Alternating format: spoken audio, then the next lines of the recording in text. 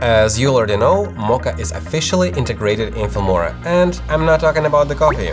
That means you can now apply tattoos on your skin, logos on any surface, and yes, I mean any surface. And besides that, you don't have to worry about subject or camera movement, so let's jump right in. Mocha offers two tools that do pretty much the same thing, which are planar tracking and power mesh. To put it simply, think planar tracking for all the flat surfaces like wall, screen replacement, street signs, and power mesh for all the deforming surfaces like clothes, skin, or even liquid. Let's start with planar tracking. Make sure you have the latest update of Filmora. Go to Effects, scroll down and find the Boris FX section.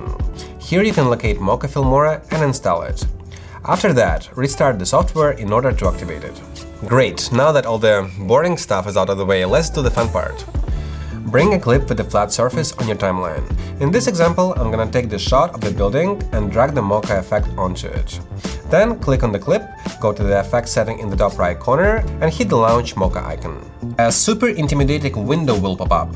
Close the laptop immediately and just go home, okay? Was that funny? No. Don't worry, it's as simple as Filmora. I will walk you through it. You and me, I'll walk you, bro. I'll walk you. I got you. First, set your interface layout to classic and then scroll in your footage to the point when the surface is flat. Click on the X-Spline tool over here and draw a tracking area on the building. Then add a planar surface by clicking on this icon and align it with the wall edges. After that, on the bottom left in the track section, check perspective and start tracking backwards by clicking on the reverse tracking play icon. Once that's done, go back to the original point and track the footage forward. Great, that was the hardest part. Now it's time to add the image to the wall. On the bottom left, switch to an Insert tab. Go to Insert Clip, click on None, and upload the desired image.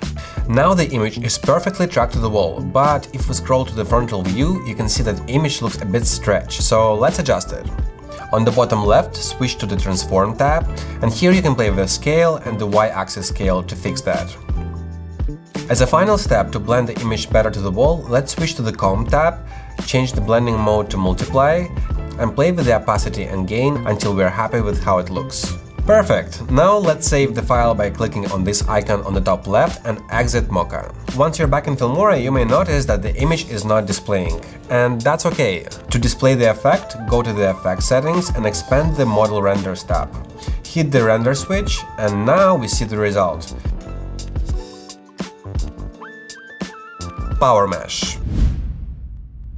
Okay, now we are entering some crazy VFX zone, but again, nothing to worry about, that's how we grow together, right?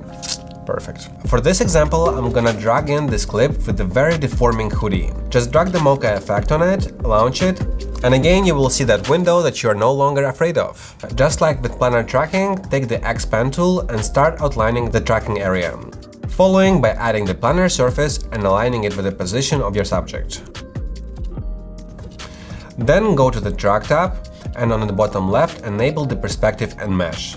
Then you will see this weird spider web looking like mesh appear in your tracking area. But that's not what we want. Go to the mesh generation section and change the generation method from automatic to uniform. Then lower your mesh size.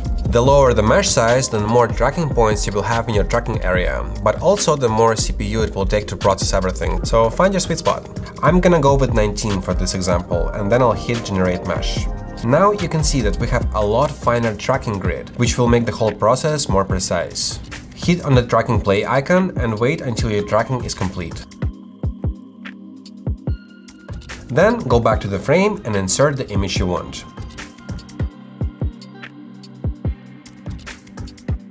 Great! Now just like with the planar tracking, go to the Transform tab and blend the image a bit better. I'm gonna adjust the size, change the blending mode to multiply, and play with the opacity and gain settings until I'm happy.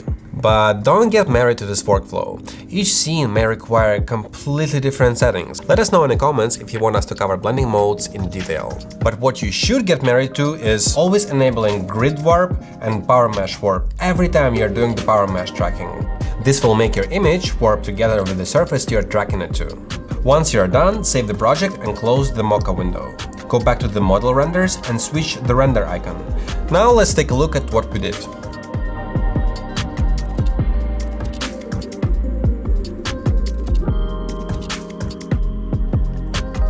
Wow, look at you, a professional power mesh tracker. They grow so fast.